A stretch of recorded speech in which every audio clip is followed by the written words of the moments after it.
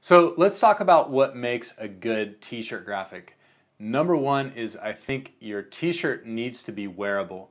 Now this is the one thing that makes t-shirt design different than other kinds of graphic design. So it really depends on your customer, but it needs to be something that they feel comfortable and good about wearing. And this also ties in with identity, which is very important for t-shirts.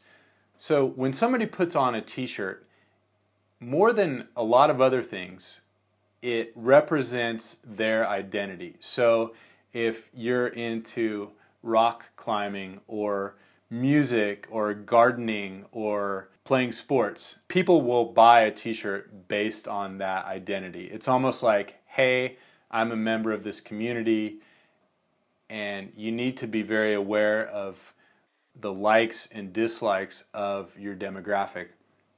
The other thing is color. You need to pay attention to what colors look good. Fashion trends and colors change all the time, so you need to stay up and aware on that. The other thing with t-shirt design is you need to think about composition. So if you think about most t-shirt graphics, they're self-contained graphics. So it might be like a center chest, or it might be a pocket hit, or it might be a back hit, or little side hit, or something like that. But unless the graphic goes off of the t-shirt, it's a self-contained piece. So composition is very important. The overall shape, the weight of letters, or the look of a photograph. Now, if you're trying to get a message across, readability is also very important.